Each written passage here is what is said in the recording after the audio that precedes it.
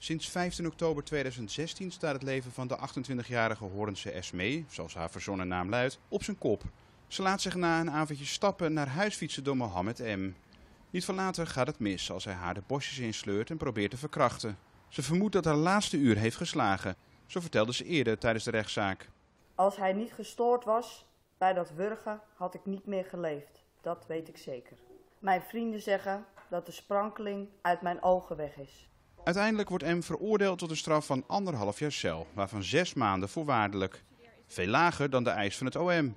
Volgens de rechter is het eenzelfde straf als in vergelijkbare zaken. Ze is heel erg teleurgesteld. Ehm, wel blij met de erkenning van het feit. Er is geen enkele discussie meer nu over de vraag of het haar aangedaan is of niet. Maar de hoogte van de straf ja, is natuurlijk in vergelijking tot de levenslang die zij heeft een lachertje. Hoger beroep, dat ligt wel een beetje in de, in de maak, zal ik maar zeggen. Wat wil zij? Op dit moment is het nog twijfelachtig.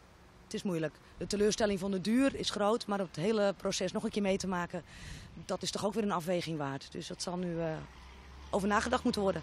Het is onduidelijk of het OM of de verdachte in hoger beroep gaan. Mocht dat niet het geval zijn, dan is de kans groot dat Mohammed M., die een verblijfsvergunning heeft, na zijn straf te hebben uitgezeten, ook het land wordt uitgezet.